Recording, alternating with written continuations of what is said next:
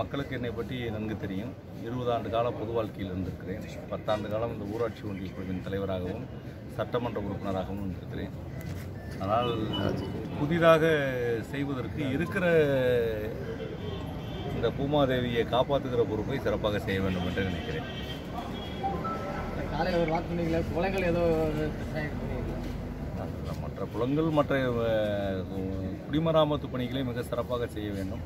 தலைவர் அவர்கள் ஏழு அம்ச கோரிக்கையாக பைபிளில் இருக்கக்கூடிய பத்து கட்டளைகளை போன்று இந்த ஏழு கட்டளைகள் பத்தாண்டு காலம் இந்த மக்களுக்கு நிறைவேற்ற வேண்டும் என்று சொல்லியிருக்கிறார்கள்.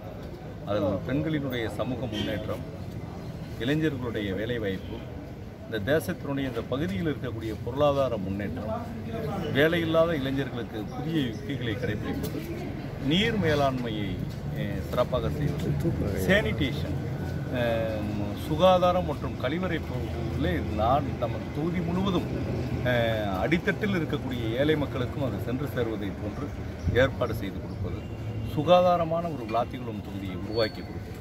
இதெல்லாம் தளபதி அவர்கள் ஏழு அம்ச கோரிக்கையாக கொடுத்திருக்கிறார். என்னுடைய பொறுத்தவரை இங்கு இருக்கக்கூடிய மானம்பாத்த பூமியில் மூணு லட்சம் ஏக்கர் விவசாயம் நடைபெறுகிறது. விவசாய கழிவுகளின் மூலம் இயற்கை உரங்களை தயாரித்து அதை மக்கச் செய்து அதன் மூலமாக ஒரு வெளிநாடுகளுக்கு இயற்கை உரங்களை ஏற்றுமதி செய்கிற ஒரு